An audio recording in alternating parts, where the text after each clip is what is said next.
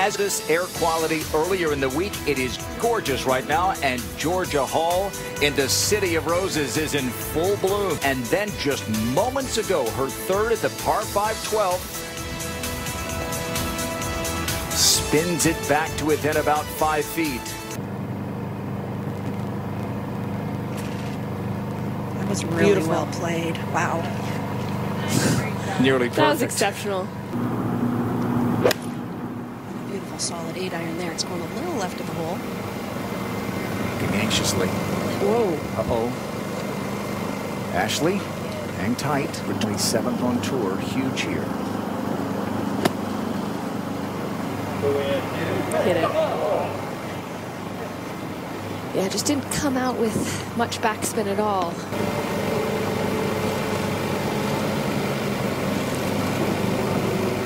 We're going overtime.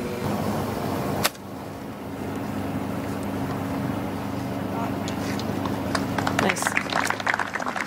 Not in, but quite good. Made it look easy.